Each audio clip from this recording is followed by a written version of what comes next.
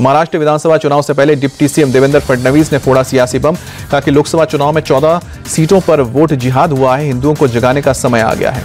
Deputy CM Devendra Fadnavis ने कहा कि लव जिहाद की एक लाख से ज़्यादा शिकायतें मिल रही हैं। हिंदू लड़कियों को किया जा रहा है गुमराह। वोट जिहाद पर संग्राम के बीच अजीत पवार का बड़ा ऐलान। विधानसभा चुनाव में 10 परसेंट सीट मुस्लिमों को देगी एनसीपी। मुंबई के सहादरी गेस्ट हाउस में महायुति के नेताओं के साथ अमित शाह ने की बैठक। एक घंटे तक चली बैठक में सीट बंटवारे के मुद्दे पर चर्चा हुई।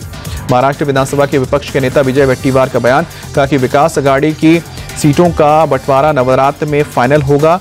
कांग्रेस अपने अधिकांश उम्मीदवारों की घोषणा नवरात्र के दौरान कर देगी। महात्मा गांधी की 155वीं जयंती के मौके पर विज्ञान भवन में स्वच्छ भारत दिवस 2024 का आयोजन कार्यक्रम को पीएम मोदी ने किया संबोधित, बोले कि आज स्वच्छ भारत मिशन की यात्रा 10 साल के मुकाम पर।